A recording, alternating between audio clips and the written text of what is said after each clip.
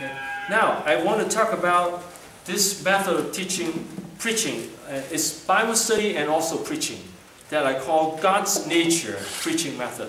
Nataka ya jinsi ya ya. As you listen to my teaching, you notice that I always talk about how good God is. Uh, unaposikiza mahubiri yangu huwa kila wakati naongea jinsi jinsi gani Mungu alivyo mzuri. The whole Bible is about that too. How wonderful God is, how loving He is, and how holy He is. Biblia inazungumzia zaidi jinsi ajabu gani Mungu alivyo alivyo, jinsi gani Mungu alivyo mzuri. So our ministry is to declare to people who God is. Kwa hivyo huduma yetu ni kutangazia watu Mungu yuko namna gani, Now, but this is not human nature. lakini hii si hali ya kawaida binadamu. That you might notice many people when they preach or when they teach, they talk from the human perspective. Utagundua kwamba watu wengi wanapohubiri ama wanaponena wanaongea kutokana na ile hali ya kibinadamu, ya kibinadamu. What it means, they will say something like this uh, If you have a problem, come to God and pray to Him and He'll help you. Utasikia wakisema kwamba kama uko na shida, kuja kwa Mungu kamwombe ili akaweze kusaidia.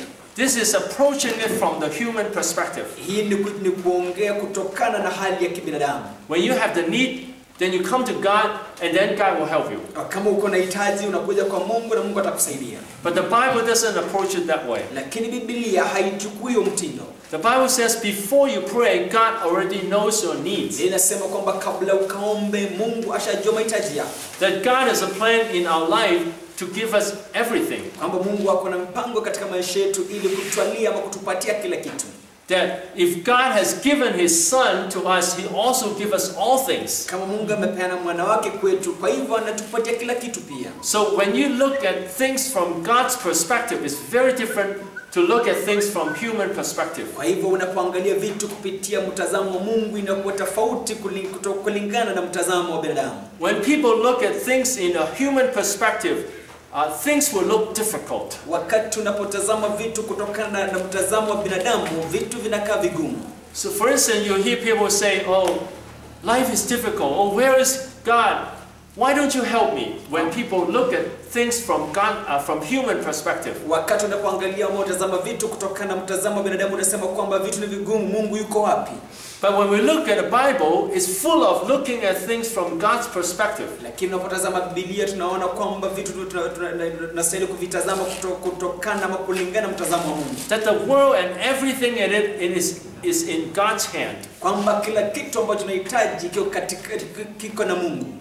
And then when uh, Pontius Pilate said to Jesus, Why don't you answer my questions? Kwanza Paulo akamuuliza akamuuliza Yesu, mbona hauwezi ukajibu swali langu? Don't you know that I have the authority to set you free or to crucify you?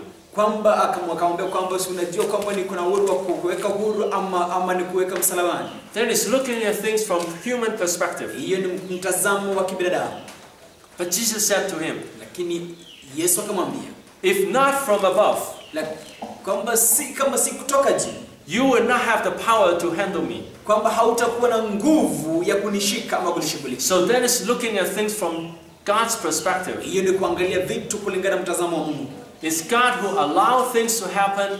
So without God's permission, you cannot be sitting here judging me. Kwa hivyo ni Mungu ambaye anaruhusu vitu kutendeka. Kwa hivyo kama hakuna ruhusa kutoka Mungu, hauwezi ukakaa hapa na ukanihukumu.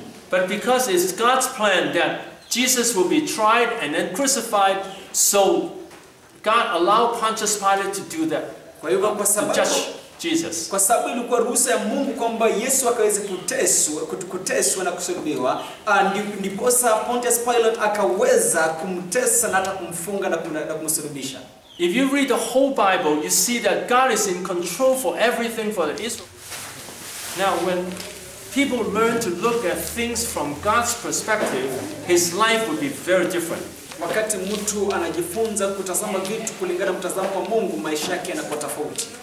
He would know that God is ministering to us all the time. Atajua kwamba Mungu ana- anahudumia nafsi yake kila wakati, God has made up his mind to bless us, kwamba Mungu amesha ameshaamua kwamba anataka kutubariki. And God will help all those who seek the kingdom of God. Mungu atasaidia wale wote ambao wanatafuta ufalme wake. And God has a plan in our life. Mungu ako na mpango juu ya maisha yetu. So God has all these things ready for us. Kwa hivyo Mungu ameweka hizi vitu zote tayari kwa ajili yetu. So I don't have to worry about anything. Kwa hivyo sihitaji kujali kujua kitu chochote, I just trust in God, I uh, have a good relationship with Him and obey Him. Nina- naamini tu Mungu, niko na uhusiano mzuri na ni mtii, And then God's plan will come through. alafu mpangilio mpango wa Mungu utakuja. Like for myself, my future, I don't know my future. Kama mimi mwenyewe sijui siku zangu za usoni ziko aje, But I know God knows my future. lakini najua Mungu anajua siku zangu za usoni, God has a plan how to use my life. kwamba Mungu ako na mpango wa kutumia maisha yangu. So I just follow God's plan, Kwa hivyo na- na- na- na- nafuata tu mpango wa Mungu, and then God's plan will come true. alafu alafu mpangilio wa Mungu utakuja kutimia. It, it also gives people good feeling about God. Pia inapatia watu hisia nzuri kumhusu Mungu, Like when you hear me talk about how God loves us, kwamba unaposikia nikisema jinsi Mungu ambavyo anatupenda, how God is happy to see us come to Him, Mungu kwa jinsi gani Mungu anafurahia akiona tuki- tukimsongea karibu, that all Christians will have joy coming to God. Kwamba maswali yote itakuwa furaha kuja kwa Mungu. But when people look at things from people's perspective, Lakini watu wanapo- wanapotazama vitu kupitia kwa mtazamo wa kibinadamu, then they'll say, Oh, I have difficulties now. oh, saizi ni kuna ugumu. Where is God? Is God going to help me? Mungu atanisaidia kweli? Then He would worry. But if I know for sure God is helping me, lakini atasema kwa kweli Mungu ananisaidia, I will not worry at all. Sita- sitajali ama sita- sitashangazwa. And then I, and then I would want to follow God's perfect plan. Kwa hivyo nita- ni- nitahitajika kufuata mipangilio mzuri ya Mungu. Okay? Now, I'm going to use different passages to illustrate this point. Kwa hivyo naenda kutumia kutumia vipengele tofauti ili kutafsiri ama kufafanua kufafanua hicho kipengele. Now, uh, first, I want to say this that when we talk about God's nature, it's not just about love. Kama tunaongea hali ya kiungu, si tu upendo wa Mungu, Oh, sheets, um, sorry. It's also about His holiness. na pia ni utakatifu wake. Some people think I just talk about the love of God. Wa- Pengine watu wengine wafikie naongea naongea tu juu ya upendo wa Mungu, But this morning you heard me talk about the holiness of God. Lakini wakati wa asubuhi ya leo nimesikia nikiongea juu ya utakatifu wa Mungu. When I think about the holiness of God, Wakati ninapoongea utakatifu wa Mungu, I'm not afraid of God. mimi simwogopi Mungu, I like God ninapenda Mungu because in heaven there is there is no more problems of people. kwa sababu mbinguni hakuna zile yale matatizo ya watu. People who might not like you on earth, but in heaven they will like you. Watu wanaweza kuchukia hapa ulimwenguni, lakini mbinguni lazima wakupende. In heaven we will have no more lust, no more frustration. Kwamba mbinguni hakutakuwa hakutakuwa na hali ya matamani ama hali ya usinzi ama hali ya kushushwa, And we will be perfect, you know, perfectly joyful and perfectly holy. na tutakuwa tumetakasika na tutakuwa na furaha ya ajabu. So to follow God's holiness totally is very beautiful. Kwa hivyo kufuatia utakatifu wa Mungu kabisa ni kitu cha ajabu. And on earth here too, many families suffer because they don't follow God's holiness. Hapa ulimwenguni fa- fa- familia nyingi zinaathirika kwa sababu hazifuati utakatifu wa Mungu. They don't care about each other. Hawajali jamii, hawajali They don't forgive.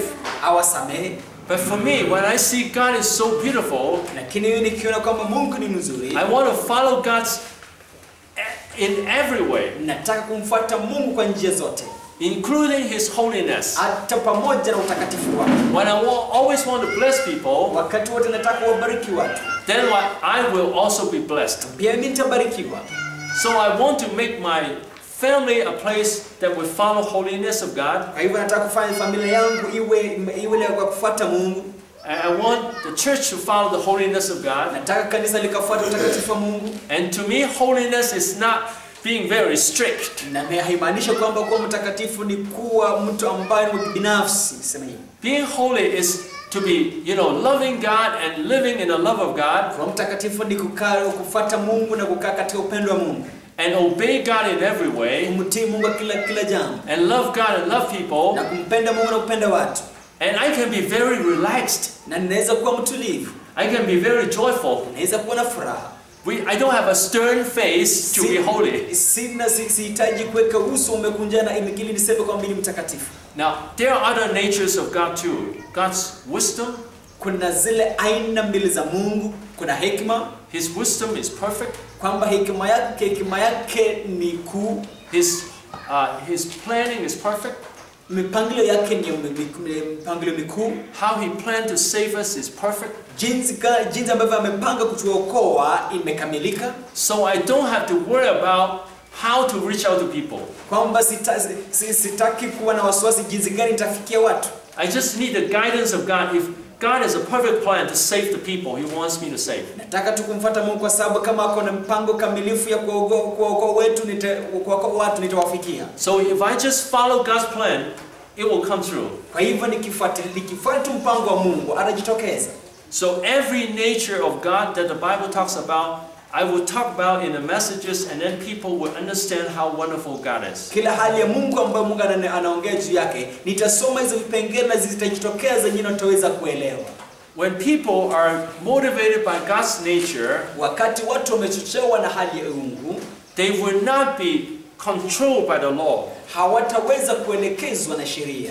or burdened with the law. ama waweze kugandamizwa na sheria Now, I have to say, it's, I'm sorry to say that I've seen many preaching to be law oriented. samahani nitasema kwamba nimeona, nimeona wahuduma wengi ambao wameweza kuelekezwa ama kugandamizwa na sheria The, basically, the preaching is like this kwamba mahubiri ni kama haya You have sinned, kwamba uko na dhambi repent, ni lazima obey God. utii mungu You're not doing wewe well. haufanyi God vizuri doesn't like you. Kwamba You have to obey ni Him. lazima If not. God will punish you. kama utamtii utaadhibiwa Now, it's all, it's like a mother telling the child, you have to do this, do that, do this. ni kama ni kama mama naambia mtoto ukafanya hivi na hivi na vile Now, the Bible doesn't talk like that. biblia haisemi hivyo That we're motivated by God's love. kwamba biblia inajifundisha sana kuhusiana upendo wa mungu And even when people are weak, hata kama watu ni wadhaifu God loves them. mungu anawapenda God moves in the heart mungu anatembea katika mioyo zao and change them naye wabadilisha so that they will obey God. ili wakaweze kumtii mungu Now, I use a daily illustration. nitatumia mfano Like, um, sometimes a, a parents, the parents want to change a child, Ama wakati mwingine wazazi wanataka kumbadilisha mtoto but the child doesn't want to change. lakini mtoto has- hahitaji hai- hai- hahitaji mabadiliko But one day when a child falls in love, lakini wakati wakati mwingine mtoto anapoingia katika hali ya kupenda and then suddenly he change. na anabadilika mara nyingi When a girlfriend or boyfriend tells him to change, mpenzi wake wa kiume ama wa kike anamfanya abadilike because of love. kwa sababu ya mapenzi So love can change people. na hiyo mapenzi yanaweza badilisha mtu And also, many Christians, when they believe in Jesus, kwa hivyo wakristo wengi wanapoamini katika yesu they experience the love of God, wanahisi upendo wa mungu and then they suddenly want to change their life. alafu hivyo wana- wanabadilisha maisha yao And then they want to forgive people na wanataka kusamehe watu and care about people pia kujali juu ya and do evangelism. na wafanye uinjilisti But very often, the follow up on the Christian is law oriented. lakini kila wakati mafundisho ya kristo yanaendanisha na hali ya kisheria And after a while, the person is controlled by law. na, na baada muda fulani mtu anaanza kuelekezwa na sheria he thinks, I have to do this and do that. na, na, na anafikiria kwamba lazima nifanye hii na hili And also, people tell them, you're not doing well enough. na pia watu namwambia kwamba haufanyi vizuri ya kutosha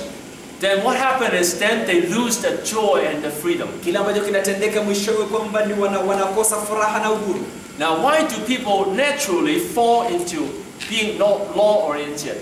mbona kila wakati watu wanaanguka ama wanaenda katika hali ya kuelekezwa na sheria Because all people basically follow the law. ni kwa sababu watu kwa kweli wanafuata sheria In the family, the parents tell the children, katika jamii wazazi wanaambia watoto you have to obey me. kwamba ni lazima unitii If you don't obey me, I'll punish you. kama hautanitii nitaku- ni- nitakupa adhabu You're not doing well, so I don't like you. kwa hivyo haufanyi vizuri kwa hivyo sikupendi And in the schools too, you have to do this, do that. na kwa shule pia wana- wanaambiwa wafanye hivi na vile Now in marriage, they're supposed to have love.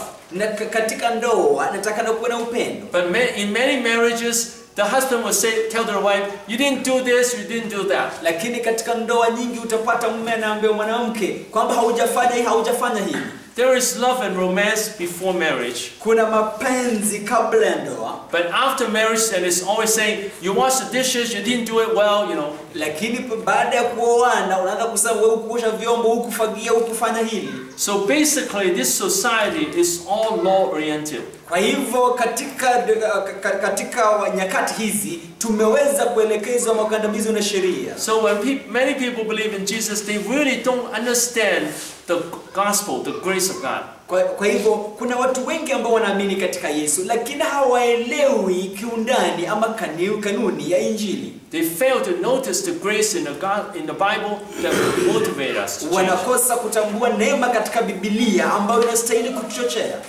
Okay. Now, right now, I'm going to demonstrate this in sermons, in uh, how to expound, how to explain the Bible messages. Ah, wakati unaenda kuweka katika zoezi jinsi ya kutenda vifungu vya bibilia First, I want to tell you this in this method of preaching, there can be number of points you can use in the outline. You can write them down. nataka kuambia kwamba katika njia ya kuhubiri kuna vipengele kadhaa ambazo unastahili kuandika chini na unaweza andika Okay, now this outline the points you don't have to follow exactly.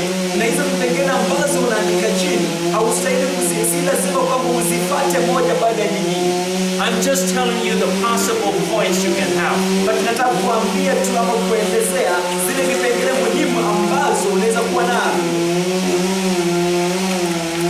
The first point is kipengele cha kwanza negative examples of people. Negative examples of people. kwamba mifano ambayo ni ya kinyume na wa, kwa watu I use an illustration of the sermon about rejoice in the Lord. natumia mfano wa kushangilia katika bwana Now, what are the negative examples of people? kwamba ni mifano gani ya watu walio kinyume That I can talk about how you know Christians should be joyful, but many Christians are not joyful. naweza sema kwamba wakristo wanastahili kuwa na furaha lakini utapata wakristo wengi hawana furaha Many Christians are burdened, kwamba wakristo wengi wamebebeshwa mzigo and serving God should be joyful, na kumtumikia mungu inastahili kuwa ya furaha but many people serving God are serving under burden.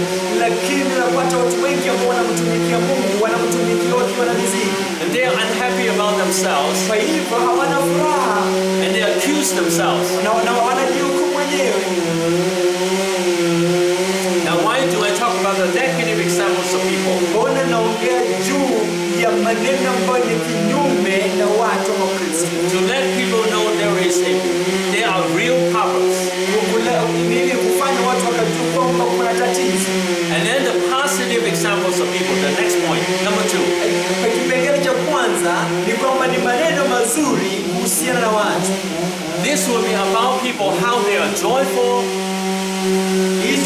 hii itakuwa jinsi watu wanastahili kuwa na furaha.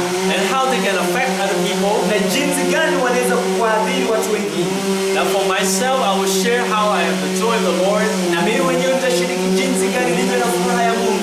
How it makes my life joyful and my ministry joyful. jinsi inafanya maisha yangu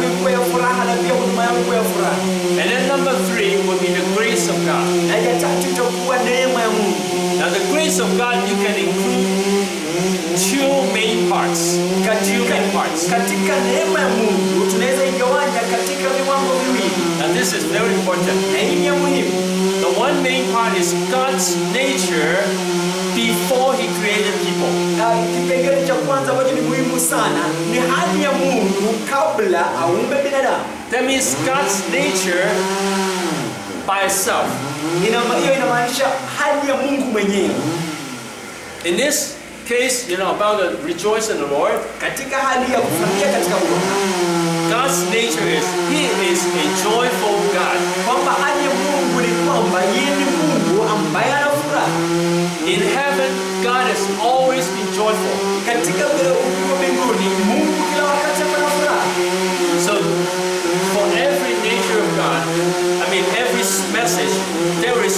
is a nature of God that He is like that.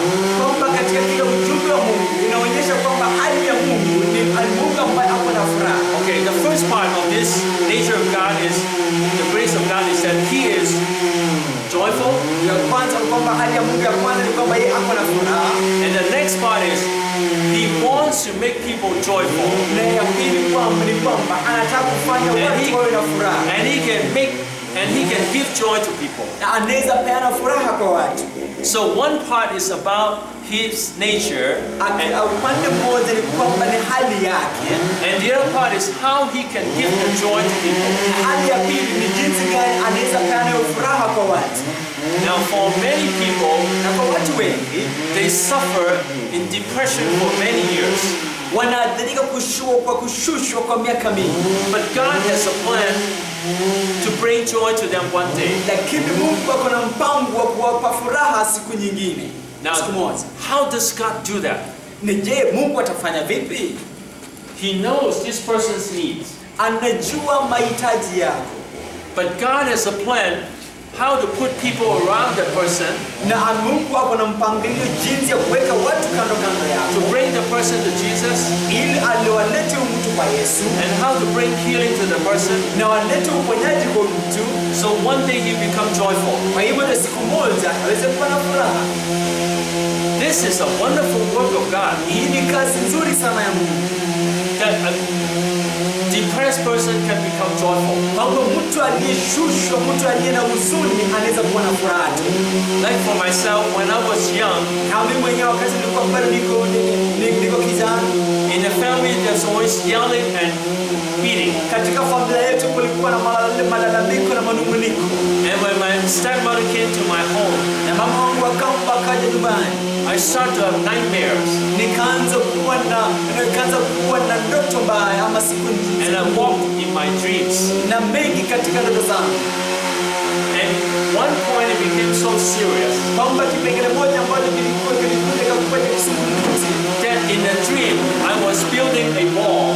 kwamba katika ndoto nilijiona najenga ukuta. When I finished the wall, Wakati kujenga ukuta, I found that I was inside the wall. nikajipata kwamba niko ndani ya ukuta, So I was afraid hivyo nikaogopa sana, and I beat the wall nikaanza kutingiza ukuta, and it was not it was it's not a hard wall like this, it's a soft wall. kwamba haikuwa ukuta mkubwa kama unaiona, ilikuwa ni mwepesi. And I made a hole through the wall. Nikatengeneza shimo kupita kwa ukuta. That was how bad my fear was. Hivyo ndio vile uoga wangu ulikuwa mbaya, But God has a plan to bring the joy to me. lakini Mungu alikuwa na mpango wa kuleta furaha kwangu, That one day now I can be so joyful. kwamba siku moja nikaweze kuwa na furaha. Isn't that a miracle? Je, huo si muujiza? And for every person, God has planned to give us joy. Na kwa kila mtu Mungu ako na mpango wa kupatia furaha. So that is God's grace. Hiyo ni neema ya Mungu. And then God's commandment. That's the fourth point. Fourth point. God's commandment. Kipengele Or cha God's law. God's law. amri za Mungu, God's law is that He wants us to be joyful in the Lord, rejoice in the Lord. kwamba amri za Mungu ni kwamba anataka tuwe na furaha na tusherekee katika Mungu. Now, for the law of God, there is a command, Kwa hivyo katika sheria za Mungu kuna But- amri but there is also a bad consequence if the people don't obey God. na pia kuna madhara yake kama hautatii zile sheria, If people don't rejoice in the Lord, kama hautafurahia katika Bwana, they will, won't have strength. They won't have strength. kwamba hawatakuwa na nguvu, They will suffer in their life. wataweza kuteseka katika maisha So those things we can talk about too. Kwa hizo vitu ambazo unaweza kuongelea vitu viwili. And the fifth point Ya- Kipengele cha tano is the explanation of the Bible passage. kwamba ni utafsiri wa vipengele au maandiko ya Biblia, Now, I don't mean you wait until the fifth, fifth point to talk about that. kwamba simaanishi kwamba nitaweza kwenda mpaka kipengele cha tano nikiongea. I just say make sure that you explain the Bible verse Inasema kwamba uhakikishe kwamba unatafsiri hizo bi- andi- maandiko za Biblia, Now, about explanation of the Bible verse is another big topic. kwamba utafsiri wa maandiko hilo ni somo lingine kuu. Um, now, it would take too much time to talk about that. You know, it, it take- Itachukua muda mrefu sana kama utaongea juu yake. I think I should should not talk about that. Okay. Now, and then the number six point is how. Namba kipengele cha sita ni nguvu. So, if someone doesn't have joy, how can he have joy? Kwa hivyo kama mtu hana furaha, je, atakuwaje na furaha? So, we're going to talk about how five steps to victory? Kumbuka zile hatua tano za kupata ushindi, This morning, na ile ambayo tulijifunza siku hii ya leo, now this is one way how people can be aware of na depression. na hivi ndio vile watu wanaweza kugundua jinsi gani wamegandamizwa ama wameshushwa, and they know it's destructive.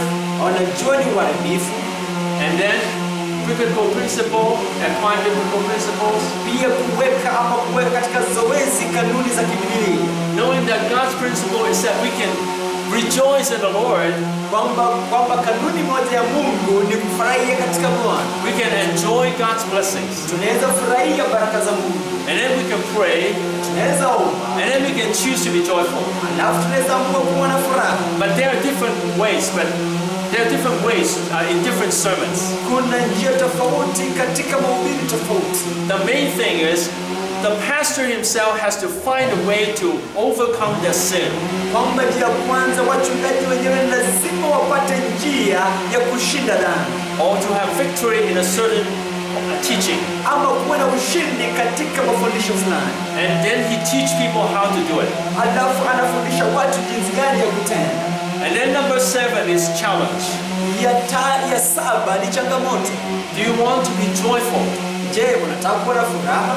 Do you want to live in the joy of the Lord? Unataka kuishi katika furaha ya Do you want to put down the burdens? Unataka kuweka chini mizigo? And then number eight, Ya nane, the pastor can lead the group in a prayer kwamba mtu anaweza anaweza elekeza watu katika maombi to apply what uh, the teaching in his life, in their lives. ili kuweka katika mazoezi yale mafundisho ambayo wamepata katika maisha.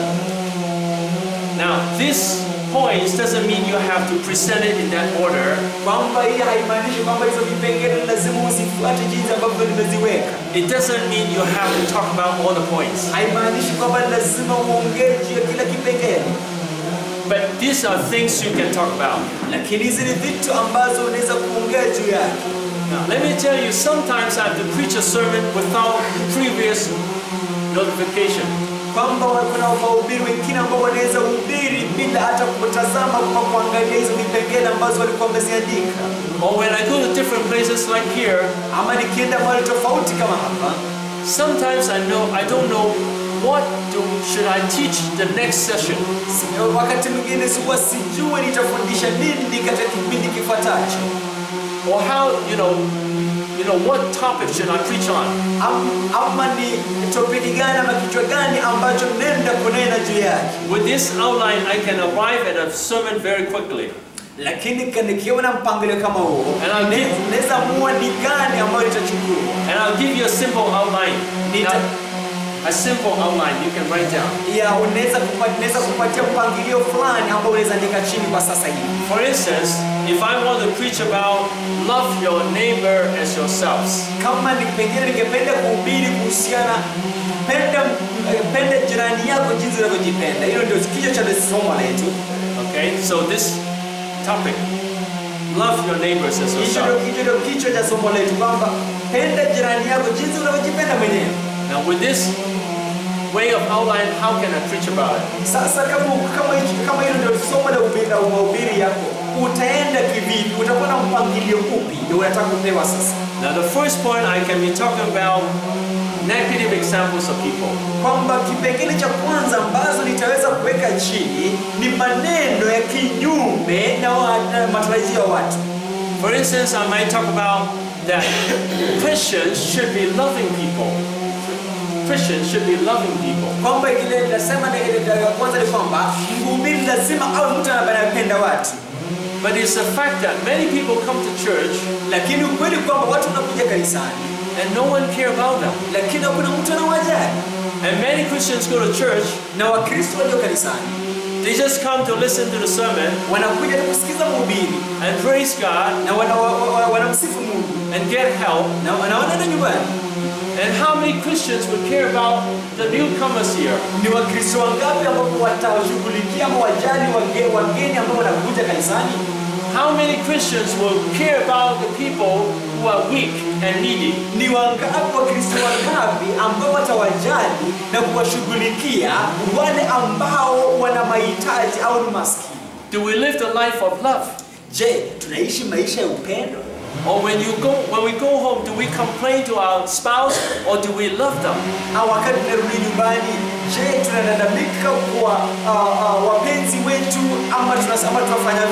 So the first point is to awake, awaken people, to let them know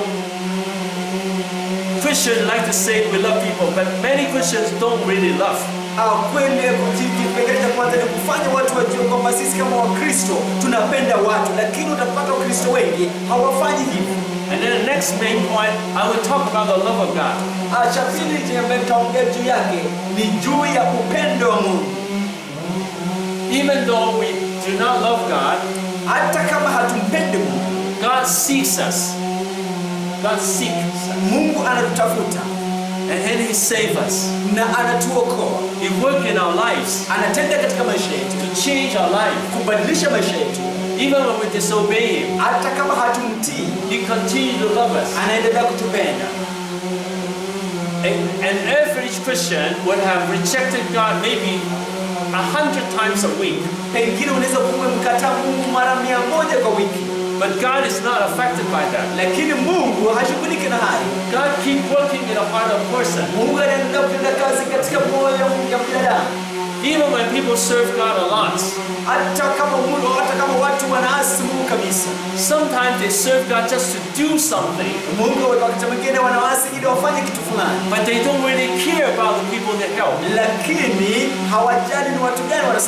But God always care about each person. No matter how weak the person is,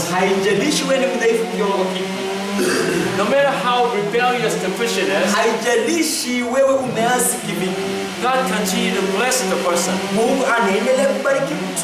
So I would motivate people and say, God is so loving. Kwa hivyo nitawatia changamoto nikamwambia kwamba Mungu ana upendo, And then I, I can talk about the God's law. na kwa hivyo naweza ongea juu ya upendo wa Mungu, God loves people so much, kwamba Mungu anapenda watu zaidi, and He wants to use us, use us to spread the love of God. na anataka wewe kama Mkristo ukaweze kueneza upendo wa Mungu. He wants us to have the heart of compassion. Anataka tuwe na moyo upendo. When we see people, we see their needs, Wakati tunapoona watu, tunaona pia mahitaji yao, and we can see what we can do to bless na them. tunaweza tazama tuone nini ambacho tunaweza fanya ili tukawabariki. And when we follow God's law Lakini wakati wafuata sheria ya Mungu to love people, ya kupenda watu, God is very happy. Mungu anafurahia And God, you know, desires uh, passion, compassion instead of uh, sacrifice. Mungu anatamani ili tukaweze kuwa na upendo badala ya kutoa dhabihu. So when we have compassion on people, God is very happy. Kwa hivyo tunapopenda watu, Mungu pia anafurahia. So that's about the law, what we should do, and then, and then uh, um, how God is happy when we obey Him. Hiyo ndio sheria ambayo tunastahili kufuata na jinsi gani Mungu anakuwa na furaha tunapoifuata. And we can also have warning.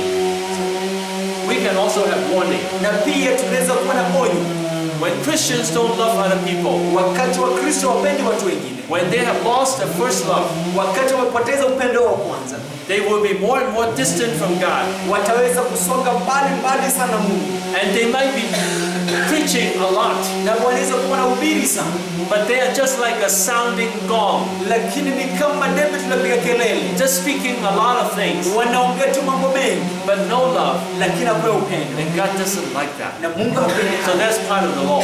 Na hivyo lazima ufuate sheria And then how we can have love. na jinsi gani naweza kuwa na upendo. Basically, all people are selfish by nature. Kwamba kama kawaida watu watu wengi ama watu wote ni wachoyo. How can we learn to love? Ni jinsi gani tunajifunza kupenda? Because we see God loves us so much. Kwa sababu tunaona Mungu anatupenda sana, God has such a wonderful plan in our life. kwamba Mungu ako na mizuri maishani mwetu. When we are blessed by God so much, Wakati ubarikiwa na Mungu sana, we want to love other people. Tuna- tunahitaji kupenda watu wengine, And then God is happy with you. na Mungu na furaha nawe. And He'll bless your whole life.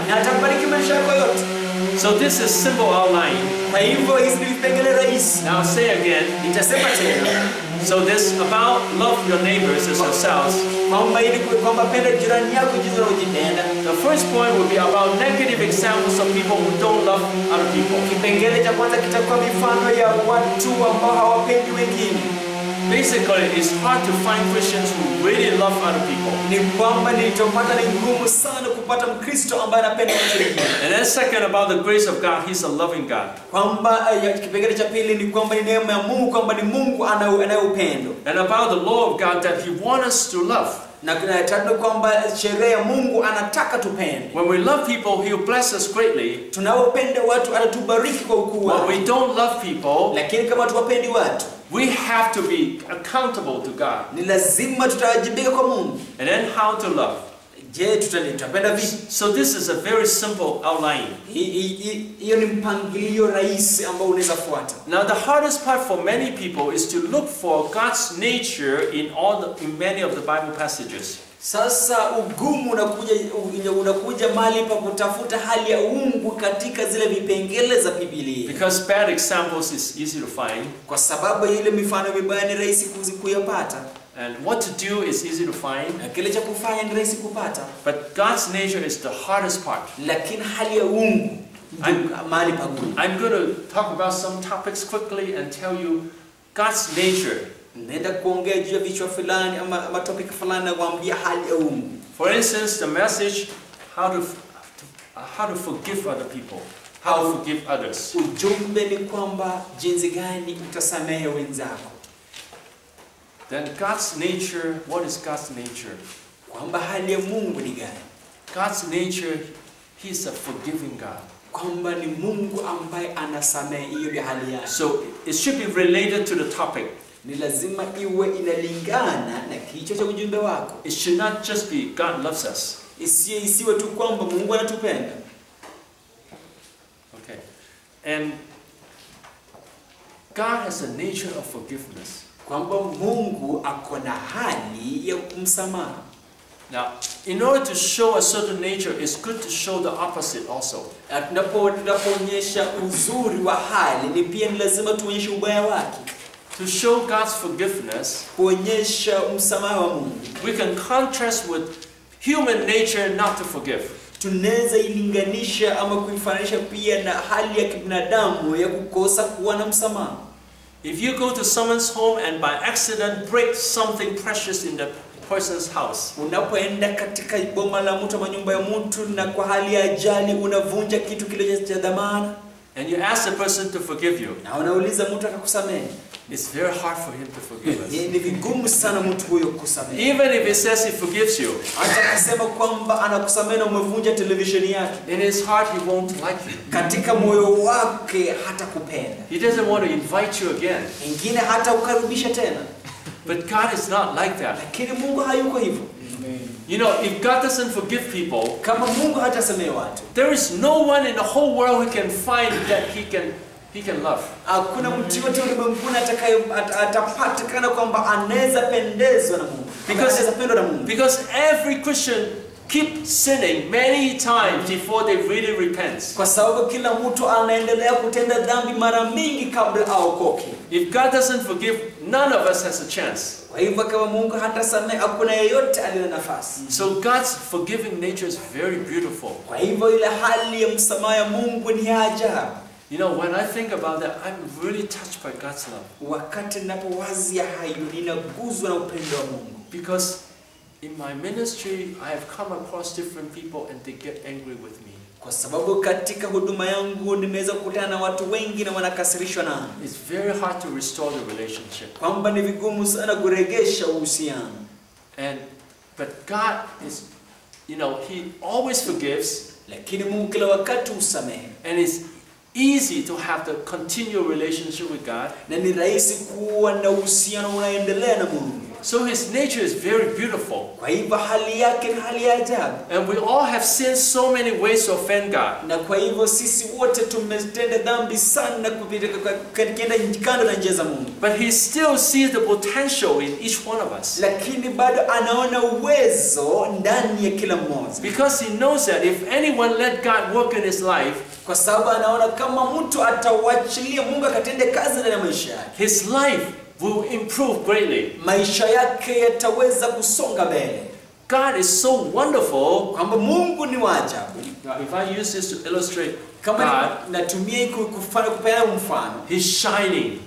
hiyo ina inang'ara He's full of love, yeye amejaa upendo full of power. ako na nguvu And when he comes to this person, na anapoingia katika huyu mtu this person is instantly changed. huyu mtu mara mara ghafla anabadilika He become a living, loving person. anakuwa mtu wa upendo He has more love and joy. anakuwa na upendo na furaha God is this almighty, loving God. kwamba ni mungu mkuu aliye na upendo Because I've seen him in so many kwa ways. sababu nimemwona katika njia tofauti In anything, any Bible passage, I see God's word. na katika kila andiko la bibilia naona upendo wa mungu Okay, so God's nature is his has a forgiving nature. kwa hivyo hali ya uungu ni ile hali ya kuwa na msamaha And then his action for us na matendo yake is that he planned for his son to die for us. kwamba aliweza kupanga kwamba mwanawe pekee afe kwa ajili yetu. The Son of God take up the most severe punishment on earth. Kwamba mwana wa mungu akachukua ile adabu kali kabisa ulimwenguni. And to be separated from God the Father on the cross. Ili akaweza kutenganishwa na baba yake kwa akiwa pale msalabani because he bore the sins of the whole world. kwa sababu alibeba dhambi za ulimwengu wote And then he also worked in the heart of people. Na pia aliweza kutenda kazi katika mioyo ya watu. To bring them to repentance. ili akaweza kuwaleta katika hali ya kuokoka. He's patient to work on each person's life. kwamba alikuwa utulivu kufanya kazi katika maisha kila mtu. So the two parts, first is nature, kwamba kuna vipengele viwili. Ya kwanza ni hali yake. And second is what he does to bless people. na ya pili ni kile ambacho anafanya ili kuwabariki watu